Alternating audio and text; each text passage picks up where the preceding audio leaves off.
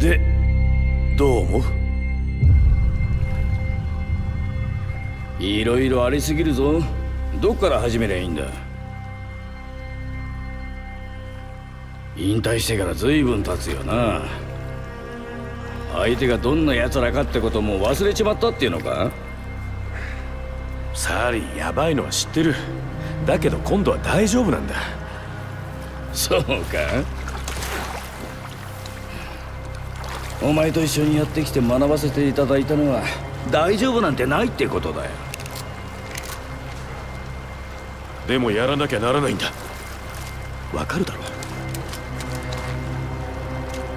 確かに俺はずっと引退してた。けどそれでもやる。助けてくれるか。もう一度だけ分かったよ。一緒にやろう。もう一度だけな。